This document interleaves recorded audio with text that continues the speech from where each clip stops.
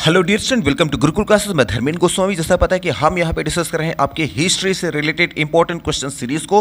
और याद रखिए, जो भी यहाँ क्वेश्चन दिए जा रहे हैं, सब चैप्टर वाइज दिए जा रहे हैं। इसलिए एक एक क्वेश्चन को बहुत ही ध्यान से देखें और बिल्कुल भी कोई भी क्वेश्चन को बिल्कुल भी स्किप न करें, ठीक? तो चलिए यहाँ टाइम वेस्ट न करते, एक एक क्वेश्चन को डिस्कस करना शुरू करते हैं।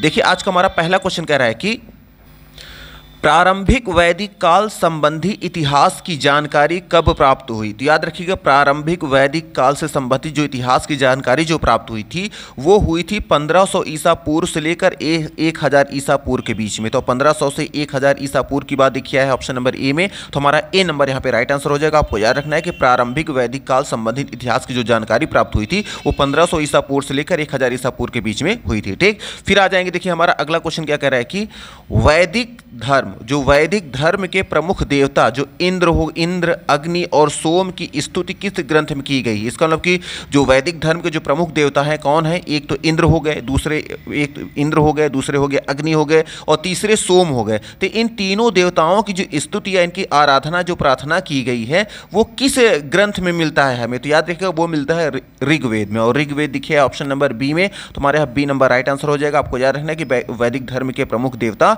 इंद्र, अग्नि, सोम की जो स्तुति या उनकी जो पूजा प्रार्थना जो मिलती है, वो ऋग्वेद में मिलती है। फिर देखिए, आ जाएँगे, हमारा अगला क्वेश्चन कह रहा है कि, जैन धर्म जैन धर्म में वर्धमान सहित कुल कितने तीर्थकर हुए? तो याद रखिए, जैन धर्म में जो वर्धमान सहित टोटल जो तीर्थकर हुए हैं, वो हुए हैं चौबीस। और चौबीस देखिए, आया है ऑप्शन नंबर बी में तो हमारे यहाँ पे बी नंबर राइट आंसर हो जाएगा। आपको याद रखना कि, जैन धर्म में वर्धमान सहित कुल चौबीस तीर्थकर हुए हैं। फिर देखिए, आ जाएँगे, हमारा अगला क्वेश्चन क्या कह रहा है कि, जैन धर्म में किसकी मान्यता मिली? जो जैन धर्म है, उसमें किसकी मान्यता मिली? जिसने व्यापार और वाणिज्य को बढ़ावा दिया। तो याद रखिएगा, जैन धर्म में जिसने व्यापार और वाणिज्य को बढ़ावा दिया, वह जो मान्यता थी, वह मान्यता थी मुनाफा एवं सूदखोरी। और मुनाफा एवं सूदखोरी की बात देखिए है ऑप्शन नंबर ए में तो हमारा ए नंबर राइट आंसर हो जाएगा। आपको याद रखना है कि जैन धर्म में मुनाफा एवं सूदखोरी की जो मान्यता थी, इसी की वजह से वहाँ व्यापार और वाणिज्य को उसने बढ़ावा दिया। ठीक? फिर देखिए, आ जाएँगे हमारा अगला क्वेश्चन क्या कर रहा है कि त्रिपिटक, जो त्रिपिटक है, कौन से धर्म से संबंधित है? जो त्रिपिटक है, ये किस धर्म से संबंधित है? तो याद रखिएगा त्रिपिटक जो है ना, ये बौद्ध धर्म से संबंधित है और बौद्ध धर्म देखिए ऑप्शन नंबर बी में तो हमारे यहाँ पे बी नंबर राइट आंसर हो जाएगा। नेक्स्ट क्वेश्चन में आ जाएँगे। देखिए हमारा अगला क्वेश्चन क्या कह रहा है कि किस धर्म में, किस धर्म में दुख निवारण व मोक्ष प्राप्ति के लिए अष्टांग मार्ग को प्रतिपादित किया गया है। तो याद रखिएगा, जिस धर्म में दुख निवारण मतलब दुख से छुटकारा पाने के लिए या मोक्ष प्राप्ति के लिए अष्टांग मार्ग जिसका प्रतिपादन जिसमें किया गया है, वो है आपका बौद्ध धर्म। और बौद्ध धर्म की बात देखिए, ऑप्शन नंबर डी में तुम्हारे यहाँ डी नंबर राइट आंसर हो जाएगा। ऐसे याद रखिएगा कि आष्टांग मार्ग का जो आष्टांग मार्ग जो प्रतिपादन किया गया है, कहाँ किया गया है? बौद्ध धर्म में। किस लिए किया गया है? दुख, निवारण और मोक्ष प्राप्ति प्राप्ति के लिए, ठीक? फिर आ जाएँगे, देखिए, हमारा अगला क्वेश्चन क्या कह है कि कौन सा भाग स्तूप नहीं है? तो कौन सा भाग इसमें स्तूप नहीं है? तो याद रखिएगा, जो भाग स्तूप का नहीं है, वह है आपका गर्भगृह। और गर्भगृह, देखिए ऑप्शन नंबर हमारा है बी में तुम्हारा बी नंबर राइट आंसर हो जाएगा, आपको याद रखना है कि वह भाग जो स्तूप का नहीं है, वह है गर्भगृह। अगर यही क्वेश्चन होता कि कौन कौन से स्तूप के भाग हैं तो आपका हार्मिका भी है, यष्टि भी हो गया, और तोरण द्वार भी हो गया। ये सब क्या हो गया स्तूप के भाग है, और गर्भगृह है जो स्तूप का भाग नहीं है। फिर देखिए, आ जाएँगे हमारा अगला क्वेश्चन क्या कह रहा है कि सांची का स्तूप किस राज्य में अवस्थित है? जो का स्तूप है, वो कहाँ पे है, किस राज्य में मौजूद है? तो याद रखिएगा, सांची का जो स्तूप है ना, वो मध्य प्रदेश में अवस्थित है। और मध्य प्रदेश की बात देखिए ऑप्शन नंबर सी में तो हमारा सी नंबर यहाँ पे राइट आंसर हो जाएगा। आपको याद रखना है कि सांची का स्तूप जो है, वो मध्य प्रदेश राज्य में अवस्थित है। फिर देखिए, आ जाएँगे हमारा अगला क्वेश्चन कह रहा है कि, स्तूपों के चित्रों में, स्तूपों के चित्रों में रिक्त स्थान किस चीज़ का प्रतीक है? तो याद रखिएगा स्तूपों के जो चित्रों में जो रिक्त स्थान है, यह है महात्मा बुद्ध के अध्ययन की दिशा का प्रतीक है। तो महात्मा बुद्ध के अध्ययन की दशा जो उन्होंने ध्यान मुद्रा में जो वो बैठे हुए थे, उसका वो प्रतीक है। तो याद रखना है कि स्तूप के चित्रों में रिक्त स्थान जो है, वो महात्मा बुद्ध के ध्यान की दशा का प्रतीक माना जाता है। इसलिए ऑप्शन नंबर हमारा ए नंबर यहाँ पे राइट आंसर हो जाएगा।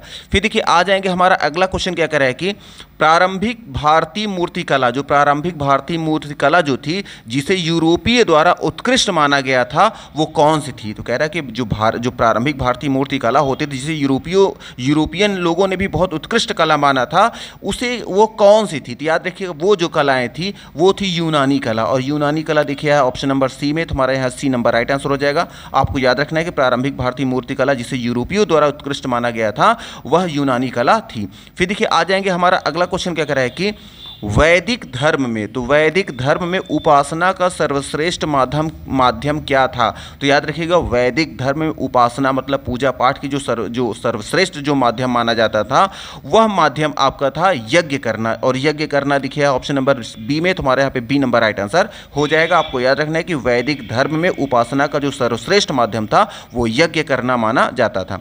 फिर देखिए, आ जाएँगे हमारा अगला क्वेश्चन क्या करें कि जैन धर्म द्वारा किस प्रकार, जैन धर्म द्वारा किस प्रकार संपूर्ण भारतीय चिंतन परंपरा को प्रभावित किया गया।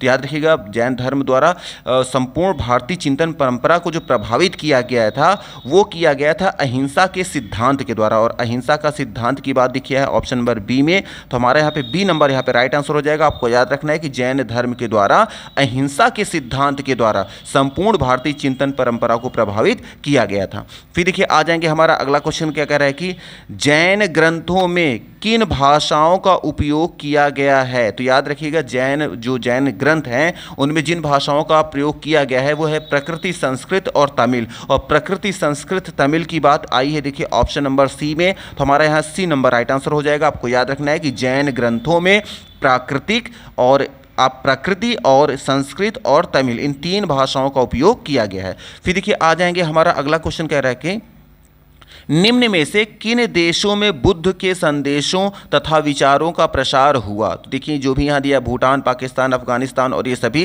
कह रहे हैं, इन देशों में से कौन से देश में बुद्ध के संदेशों का संदेशों और तथा उनके विचारों का प्रसार प्रसार हुआ? तो याद रखिएगा, भूटान में भी हुआ, पाकिस्तान में भी हुआ था और अफ़गानिस्तान में भी हुआ था, इसलिए ऑप्शन नंबर हमारा जो डी होगा, ये सभी इसको हम क्लिक कर देंगे। तो आपको याद रखना है कि बुद्ध के संदेशों तथा विचारों का जो प्रसार हुआ था, भूटान, पाकिस्तान, अफ़गानिस्तान सभी स्थानों पर हुआ था।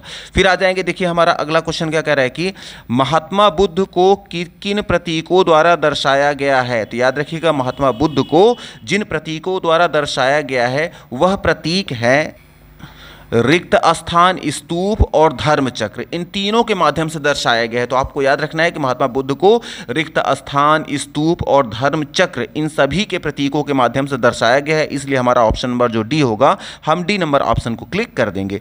फिर देखिए, आ जाएँगे हमारा अगला क्वेश्चन, क्या कर है कि महात्मा बुद्ध के संपूर्ण शिक्षा व उपदेशों का आधार क्या है? तो याद रखिएगा, महात्मा बुद्ध के संपूर्ण शिक्षा व उपदेशों का जो आधार है प्रतित्यस्मुत्पाद जो है, यह महात्मा बुद्ध की संपूर्ण शिक्षा और उपदेश का आधार है और ये देखिए है ऑप्शन नंबर सी में तो हमारे यहाँ पे सी नंबर राइट आंसर हो जाएगा। आपको याद रखना महात्मा बुद्ध की संपूर्ण शिक्षा व उपदेश का, उपदेशों का जो आधार है, वो है प्रतित्यस्मुत्पाद। ठीक? फिर आ जाएँगे, देखिए हमारा अगला क्वेश्चन क्या कर है कि, थेरी स्त्रियों के बारे में निम्न में से कौन सा कथन सत्य है?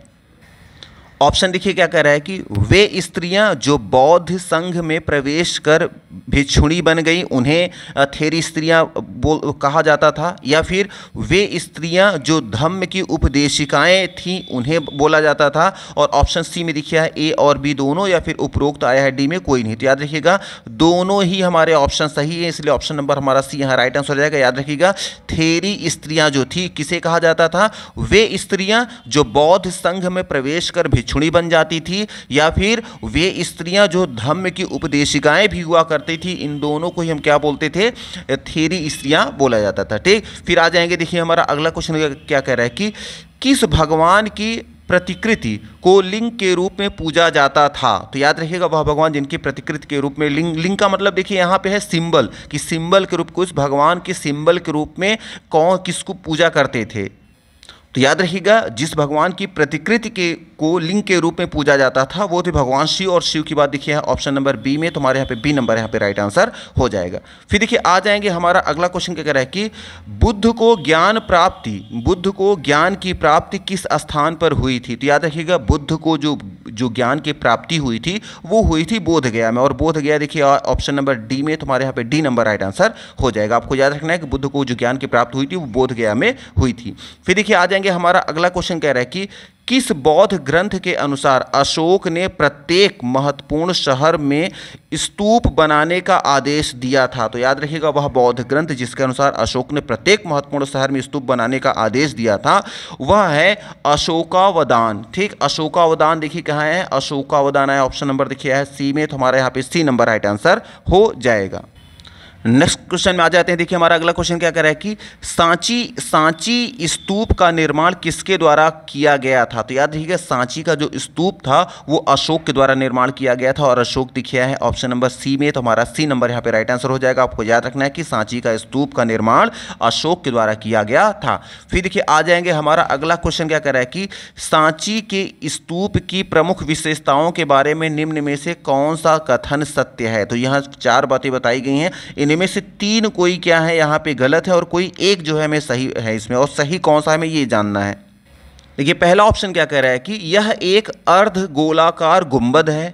ऑप्शन बी कह रहा है यह एक पत्थर की एक बड़ी बाढ़ से घिरा हुआ है, या फिर ऑप्शन सी में है, सांची के स्तूप में कई कहानियों का चित्रांकित, चित्रांकन किया गया है। ये तीन ऑप्शन और ऑप्शन डी कह रहा है उपरोक्त सभी। तो याद रखिएगा, ये सारे ही ऑप्शन हमारे क्या है, सही है, इसलिए ऑप्शन नंबर डी हमारे यहाँ पे क्या हो जाएगा राइट आंसर हो जाएगा। याद रखिएगा, सांची के स्तूप की जो प्रमुख विशेषताएँ हैं, वो पहला क्या है कि यह एक एक अर्ध गोलाकार गुंबद है, दूसरा क्या है, यह पत्थर की एक बड़ी बाढ़ से घिरा हुआ है, और तीसरा क्या है, सांची के स्तूप में कई कहानियों का चित्रांकन किया गया है, ये भी क्या है ऑप्शन सही है, इसलिए हमारा ऑप्शन जब डी होगा, हम डी नंबर ऑप्शन को यहाँ पे क्लिक कर देंगे हमारे सभी ऑप्शन क्या हैं, सही हैं, ठीक? फिर आ जाएँगे, देखिए, हमारा अगला क्वेश्चन क्या कह रहा है कि निम्न में निम्न में से कौन? कह रहा है कि निम्न में से कौन सी एक प्रारंभिक मंदिरों की विशेषता नहीं है? तो इसका मतलब कि यह जो प्रारंभिक समय में जो बनाए जाते थे, मंदिर बनाए जाते थे, उसमें से कौन सी जो जो विशेषता है वो नहीं पाई जाती थी शुरू शुरू में?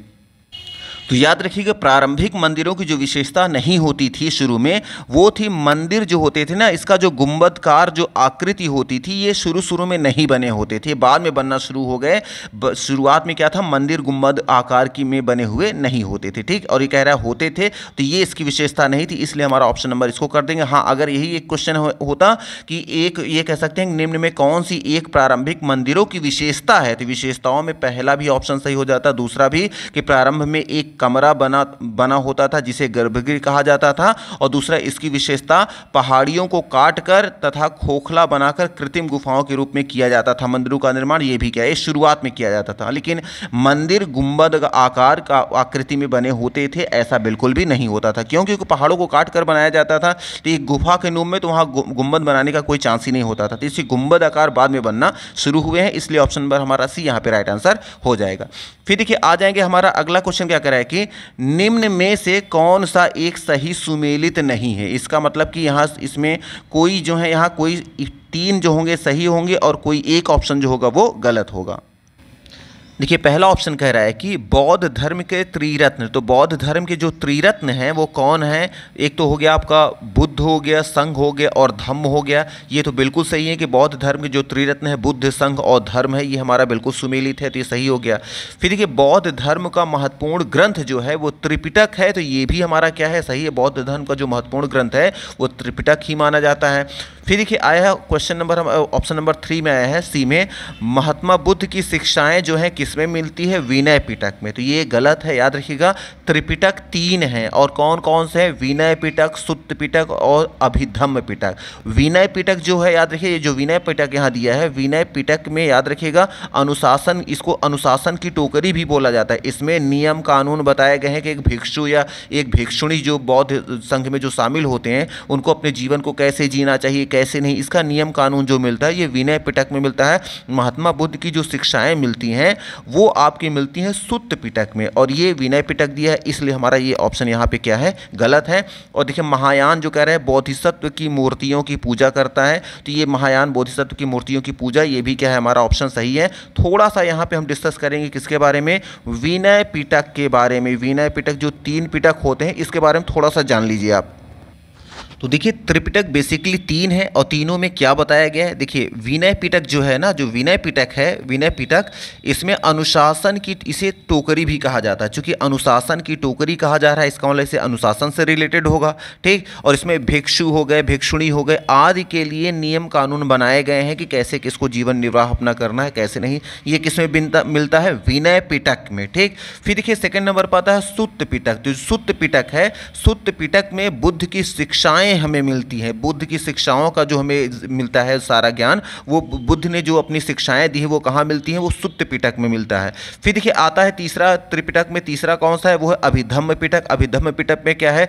धर्म और उसके क्रियाकलापों की व्याख्या इसमें की गई थी कैसे? पंडिताऊ ढंग से। जैसे पंडित लोग करते हैं ना, कि धर्म की व्याख्या करते हैं, मान लीजिए सनातन धर्म में, उसी प्रकार से बौद्ध धर्म में भी जो जो पंडिताऊ ढंग से उसके क्रियाकलाप कैसे करने हैं, कैसे नहीं, इसका जो पूरा ज़िक्र मिलता है। ये मिलता है आपका अभिधम पिटक में ठीक? तो ये सारी चीज़ें आपको क्लियर हो गई होंगी कि त्रिपिटक तीन है, विनय पिटक सुत्त पिटक अभिधम्म पिटक, और तीनों में क्या क्या बातें मिलती हैं, ये आपको पता चल गया। अब देखिए, ऊपर क्वेश्चन क्या कह रहा था? महात्मा जो महात्मा बुद्ध हैं, इनकी शिक्षाओं, इनकी शिक्षाएँ जो होती हैं, वो कहाँ मिलती हैं? इसमें दिया था विनय पिटक। तो विनय पिटक में नहीं दिया गया है, बल्कि कहाँ मिलता है? सुत्त पिटक में मिलता है। इसलिए ये ऑप्शन गलत था, इसलिए ऑप्शन हमारा जो हो जाएगा सी यहाँ पे हम क्लिक कर देंगे। तो मे भी आपको ये समझ में आ गया होगा। अगला क्वेश्चन देखिए हमारा क्या कह रहा है कि देखिए हमारा अगला क्वेश्चन कह रहा है कि महात्मा बुद्ध के व्यवहारिक ज्ञान को किसने ग्रंथों के रूप में संकलित किया था। तो याद रखिएगा, महात्मा बुद्ध के व्यवहारिक ज्ञान को जिन्होंने ग्रंथों के रूप में संकलित किया था, वे थे आनंद और उपाली। और आनंद और उपाली देखिए आए हैं ऑप्शन नंबर ए में आया है तो हमारा यहाँ पे ए नंबर यहाँ पे राइट आंसर हो जाएगा। आपको याद रखना है कि महात्मा बुद्ध के व्यवहारिक ज्ञान को जिन्होंने ग्रंथ के रूप में संकलित किया था, वो थे आनंद और उपाली, जो कि ऑप्शन नंबर ए में है। तो हमारा ए नंबर यहाँ पे राइट आंसर हो जाएगा। नेक्स्ट क्वेश्चन में आ जाते हैं। देखिए, हमारा अगला क्वेश्चन क्या कर रहा है कि बौद्ध धर्म के प्रचार प्रसार में किसका विशेष महत्व रहा? तो याद रखिएगा, बौद्ध धर्म के प्रचार प्रसार में जिसका सबसे ज़्यादा महत्व रहा, विशेष महत्व रहा, वो है राजकीय संरक्षण। और राजकीय संरक्षण देखिए है ऑप्शन नंबर सी में तो हमारे यहाँ सी नंबर राइट आंसर हो जाएगा। आपको याद रखना कि बौद्ध धर्म के प्रचार प्रसार में जिसका विशेष महत्व रहा है, वह है राजकीय संरक्षण। फिर देखिए, आ जाएँगे हमारा अगला क्वेश्चन क्या कर रहा है कि निम्न में से कौन सा एक सही सुमेलित है इसका मतलब तीन गलत है, कोई एक ही है जो हमारा इसमें ऑप्शन सही है।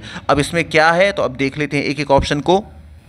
हमारा देखिए पहला ऑप्शन क्या कह रहा है कि मद्रास, यहाँ कह रहा है कि, देखिए यहाँ कह रहा है कि 1814 में मद्रास की स्थापना तो याद रखिएगा 1814 में मद्रास की स्थापना नहीं की गई थी। ये बिल्कुल ऑप्शन गलत है। हाँ अगर ये क्वेश्चन आता, कब की गई थी तो ये किया गया था सोलह आपका उनतालीस में किया गया था। तो मद्रास की स्थापना कब हुई थी? सोलह में की गई थी और इसमें दिया है अट्ठारह तो ये हमारा ऑप्शन वैसे ही गलत हो गया। फिर देखिए आया है सेकेंड नंबर पे 1834 को क्या है? गनिंघम द्वारा सारनाथ के स्तूपों की छानबीन की गई थी। तो हाँ ये बिल्कुल ऑप्शन हमारा क्या है? राइट है। फिर कह रहा है कि कलकत्ता की स्थापना कब हुई थी? अट्ठारह को कलकत्ता की स्थापना की गई थी। तो ये भी ऑप्शन हमारा क्या है? गलत है। कलकत्ता की जो स्थापना की गई थी, वो की गई थी आपका सोलह में। तो सोलह में की गई थी, इसलिए ये भी ऑप्शन हमारा गलत है और ये भी हमारा क्या है? ऑप्शन गलत है। ठीक? कंजर्वेशन मैनुअल का प्रकाशन भी उन्नीस में नहीं किया गया था। इसका मतलब हमारा जो सही आंसर होगा, वो कौन सा एक ही है, वो है ऑप्शन नंबर बी। तो हमारे यहाँ बी नंबर यहाँ पे राइट आंसर कर देंगे। हाँ अगर यही क्वेश्चन इस तरह से भी घुमा कर आ सकता है कि मद्रास की स्थापना कब हुई थी तो आपको याद रखना है कि मद्रास की स्थापना हुई थी सोलह को। अगर आता कलकत्ता की स्थापना कब हुई थी तो कल, कलकत्ता की जो स्थापना हुई थी, वो हुई थी सोलह को, ये भी आपको याद रखना है। अब आ जाते हैं अपने अगले क्वेश्चन में। देखिए, हमारा अगला क्वेश्चन क्या कर रहा है कि सांची का स्तूप किस राज्य में स्थित है? तो याद रखिए, सांची का जो स्तूप है, वो मध्य प्रदेश में स्थित है। और मध्य प्रदेश, देखिए, है ऑप्शन नंबर सी में तो हमारा सी नंबर राइट आंसर हो जाएगा। आपको याद रखना है कि सांची का जो स्तूप है, वो मध्य प्रदेश में स्थित है। फिर देखिए, आ जाएँगे हमारा अगला क्वेश्चन क्या कर रहा है कि किस स्तूप में जातक कथाओं का चित्रांकन देखने को मिलता है? तो जानते रहेगा वह स्तूप जिसमें जातक कथाओं का चित्रांकन देखने चित्रांकन देखने को मिलता है, वह है सांची का स्तूप। और सांची के स्तूप की बात आई है ऑप्शन नंबर ए में तो हमारा ए नंबर यहाँ पे राइट आंसर हो जाएगा। और देखिए, आज का हमारा लास्ट क्वेश्चन है। क्वेश्चन कह रहा है कि निम्न में से कौन सा कथन नवीन हिंदू धर्म के बारे में असत्य है? मतलब जो नवीन जो नवीन, जो भारतीय हिंदू धर्म जो है, इसमें कौन सी बात असत्य बोली गई है? कौन सी बात लागू नहीं की जाती इसमें नहीं की जा सकती।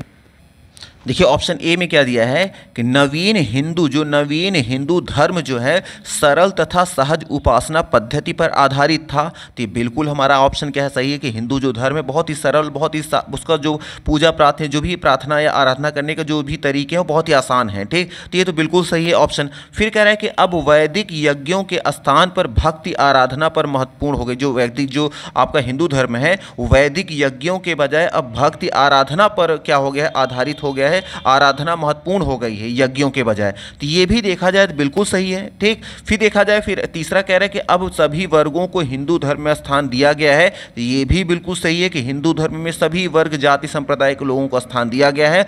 इसलिए क्वेश्चन कह रहा था, कौन सा असत्य है? तो ऑप्शन नंबर डी आया है, उपरोक्त में से कोई भी बात असत्य नहीं है, बल्कि सारी बातें क्या है? सत्य हैं। इसमें कह रहा था, कौन सा असत्य बात है? तो इन तीनों में कोई भी असत्य बात नहीं है, इसलिए ऑप्शन नंबर जो डी होगा ना उपरोक्त में से कोई नहीं, ऊपर की कोई भी बात असत्य नहीं है, बल्कि सभी बातें क्या हैं? सत्य हैं। तो मे भी आपको यहाँ वन बाई वन सारे क्वेश्चन समझ में आ गए होंगे। अगर सारी चीज़ समझ में आ रही तो प्लीज़ वीडियो को लाइक करना चैनल को सब्सक्राइब करना न भूलें और कमेंट आप ज़रूर किया करें।